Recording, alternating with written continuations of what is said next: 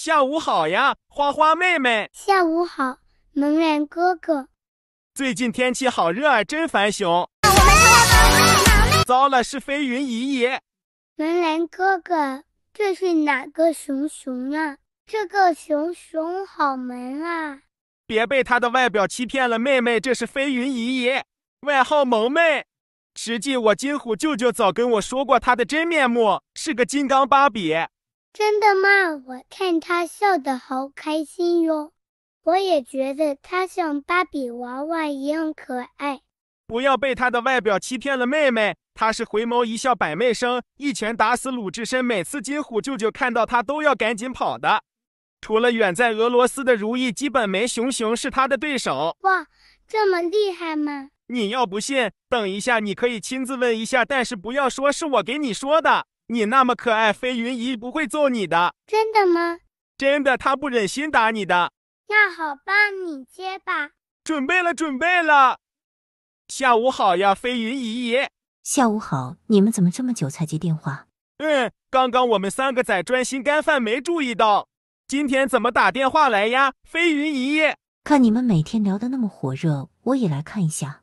啊，我我飞云姨姨，我我有我有一个问题想问你，可以吗？姨姨长得很可怕吗？都给你下结巴了吗？花花，没没有我，我只是吃了水果比较开心，一不小心就做结巴了。你问吧，什么问题？就是他们说你什么回眸一笑打死鲁智深是真的吗？花花是回眸一笑百媚生，一拳打死鲁智深。他们是谁？金虎和蒙兰吗？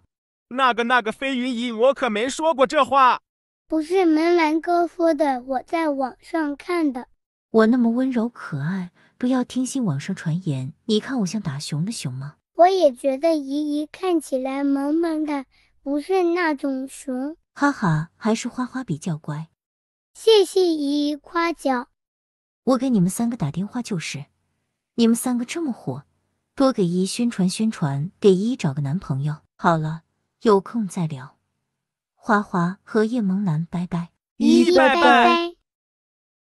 妹妹从接视频，你一直在吃水果，看来在成都生活的不错呀。